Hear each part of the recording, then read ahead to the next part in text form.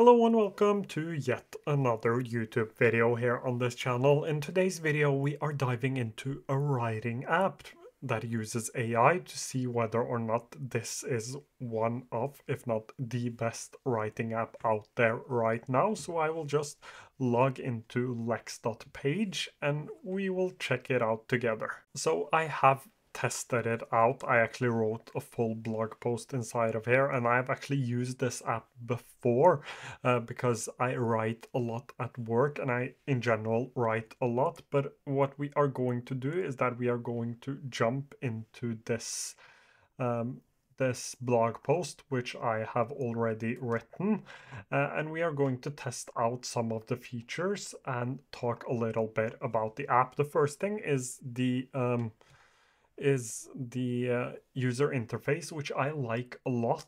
I like the way this looks. I like that you have sort of um, distraction-free place to write and you have the sidebar right here. I can actually remove this and go into uh, full screen mode as well or into focused mode. And it has uh, a focus session where you can write your goal and you can set a target of uh, words in a set period of time. So for example, 30 minutes and 500 plus words, or uh, you could set no word uh, no word targets. You could set actually reduce the word count. So uh, you have a couple of possibilities here and you can enter what's called focus mode or you can not enter focus mode. So you have um, an even more uh, distraction-free way of writing as well. But that is not necessarily the main selling point of the application. The main selling point is the AI, but I still think that it is really important to have uh, a good user interface, even if AI is your main selling point. So you will first have to nail the first part of the product, which is just basically being a good writing app, which I think that this is. I really enjoyed writing this blog post inside of here. You have a word count and you can even add more versions here as well. Uh, so here I've added another version. Um, so you can add more versions into here as well. So we also have um, command menu where we can do a couple of things. So we can run checks, we can uh, ask Lex about your document, continue writing, generate text from prompt, and we will go through all of these uh, in this video. So the first one and probably the most important one in my case is to run a check. And I need this because English isn't my first language. I struggle to write in English and I do a lot of writing in English, especially at work. Everything needs to be written well. I need to have a good grammar and uh, the writing just needs to be good. That's why I like something like this. And it isn't just uh, grammar. We can check off grammar cliches, uh, readability, and do I need anything else? I don't think I need anything else. We can check off repetition as well, and we can press run check, and it will start checking. And as you can see, it shows me everything. So let's just quickly jump through this, and you can do that by clicking. So here I need a comma. Uh, this is spelled wrong and here note-taking apps appeared note-taking apps to do.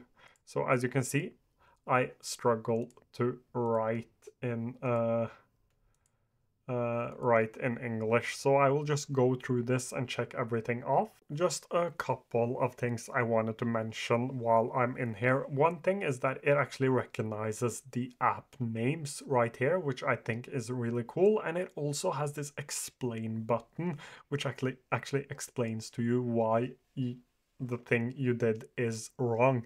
And I like this sort of AI because in writing, I believe that it isn't about getting AI to do the work for us. I don't like that at all. So AI writing all of my blog posts, AI writing everything I publish, not a big fan of that. I want to write it myself with the help of AI. I don't actually want AI to do it for me. And I really like the implementation of this because first of all, you actually have to click here uh, and it makes it easier for you to remember the next time you're writing and actually learn the specific things. Uh, but secondly, uh, it actually helps you explain things as well, uh, and it helps you without doing the work for you, which I believe is really important.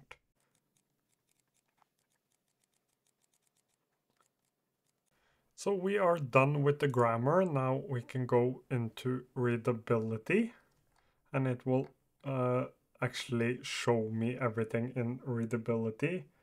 So uh, it uh, will suggest once again, suggest things that make it easier to read. And now we're done with that as well, and we will just check for repetitions. And it seems like I have a few, and it will give me a couple of suggestions here, and I will get these done as well. So the only thing out of uh, the checks that didn't work properly is actually the repetition one. The AI struggles to understand the context, but that might be better on uh, one of the other uh, AI um, models, one of the other AI models. So now let's take a look at the other things that it offers. It has something called ask Lex, and here I can actually talk to Lex like it is an editor or a human or just a thought partner, which is something I love, especially again for work since I work in marketing and I'm the only one.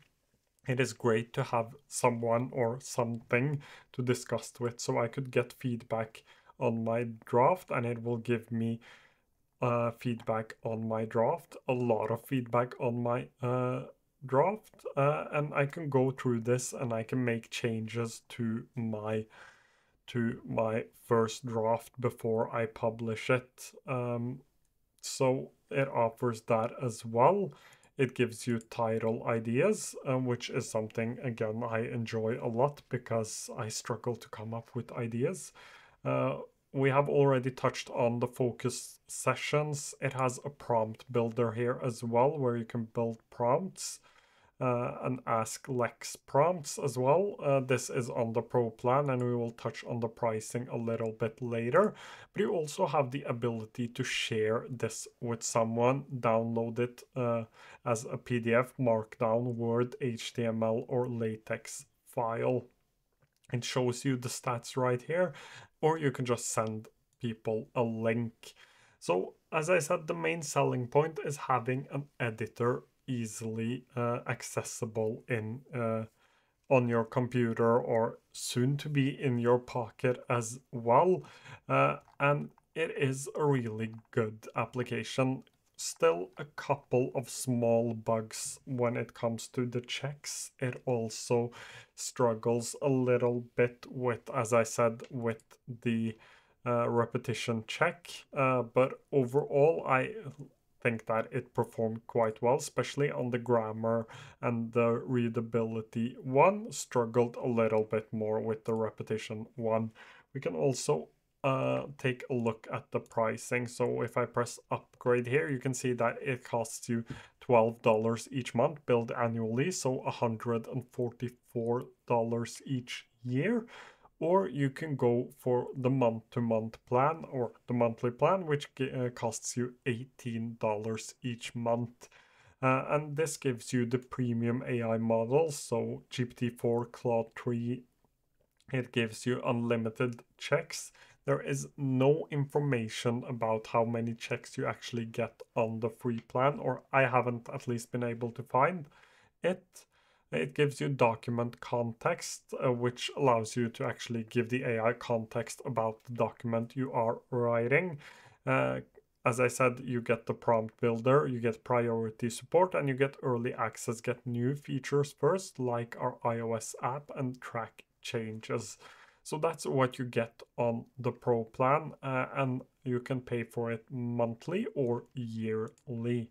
Uh, and as I said, it is an application I like a lot. I think that it is a really cool uh, application and it is offering something that uh, no other apps are offering. A lot of these apps actually have AI write things for you, but this is like a writing assistant AI more than uh, a writing AI. It is an assistant, and it also has been able to nail uh, the user interface. I think it is really beautiful. I like the focus mode as well, uh, and uh, that is one of the most important things in uh, future AI products.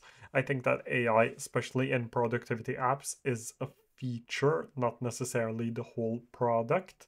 Uh, and you have to be able to uh, get the basic parts of your productivity app, or in this case, your writing app. You have to get that fixed before uh, people will jump to it, even though you have a great AI. So uh, get the basic things in order first, then you can improve the AI. That's at least my opinion. Uh, as as I said, you can also add document context. So what you're writing, uh, what is your goal, and what is the intended uh, audience. You can add that as well, and it will uh, it will um, give the AI context. We have um, a few languages, so we have Dutch, English, Spanish, French, Italian. Oh, I have no clue uh, what that is. So, uh, and the last one is Portuguese. If you have any questions, feel free to leave them down below and I will try to get to them as soon as I can. Thank you so, so much for watching today's video.